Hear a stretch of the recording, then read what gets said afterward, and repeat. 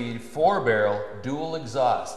That's what 442 stood for back in 1964 when it first came out. This is a big block car, 1970, belongs to Bob Ashman. Bob, how you doing? Hi, nice to meet you. Nice to meet you, Bob. You're one of the sick Oldsmobile lovers here, man. Yes. Do you know this garage is air conditioned? You know, we were going to go cooler. outside and look at your car. Right, And yep. why? I mean, it's summer. Stay in here. Yeah, staying here. So you brought this baby in, and it didn't have a, a, a radical idle to it when you came in. Big block, little wild cam in here. Big Block Wild Cam. You had this car for a while. Tell our viewers all about it, everything you've done to it. Um, this car I had in high school, and uh, we painted this in 1981. So the paint job is 26 years old. Um, Beautiful lacquer job. It is a lacquer job. Um, it's what can I say? It's it's it's, a, it's a rare original car. uh, pretty close. It, I didn't take it quite as far as what Greg did with his. Right. Just uh, the, the paint job and a few detailing under the engine compartment, but other than that, it's pretty much original. Now, w- w- when Dave called me and asked to do a show out here with you guys, you had a, a little uh, exhaust or a vacuum leak with the head gasket, intake manifold gasket, right? Right, Yeah. And so you guys thrashed for.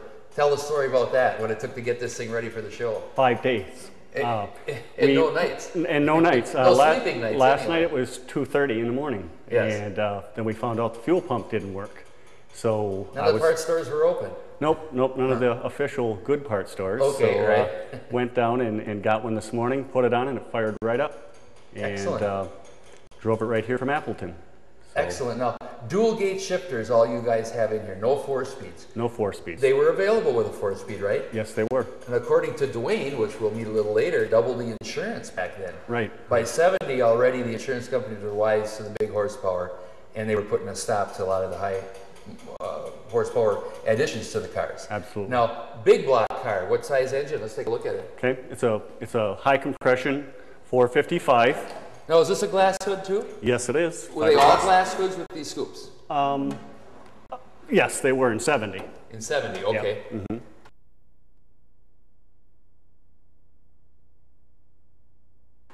Now, did you say you've had this since high school? I've had this since high school. And what did you pay for it then? $900. 900. What kind of shape was it in? I was in pretty good shape. It, it had a newer paint job on it, um, not as nice as this one, Right. but um, it was uh, very nice. It was a very nice driver. Right. So, um, Big block 455. big block 455, high Excellent. compression. Mhm. High compression, yes. Uh, the difference between this and like Greg's W31 is his engine is gold, where the big blocks were blue. Okay. Excellent. Now, a lot of the parts, I mean, everything looks flawless on this car, even though it is a driver. As you say, and the paint's 20, 21, 26 years old. 26 years old.